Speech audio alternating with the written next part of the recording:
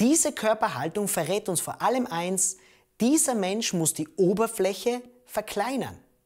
Wir wissen allerdings nicht warum. Deutlich ist auf jeden Fall, dass die unempfindlichen Hautstellen geschützt werden. Die Außenseite der Arme hat weniger Hautrezeptoren und eine dickere Haut. Die Innenseite ist weit sensibler. Das gleiche gilt für den Rumpf und für den Hals. Allerdings, warum dieser Mensch das macht, wissen wir nicht. Will er sich vor Kälte schützen? Ist er vielleicht in der Umgebung etwas unsicher? Oder ist es einfach nur Dirk Nowitzki, der Angst hat, sich in der Plattenbausiedlung den Kopf anzuschlagen?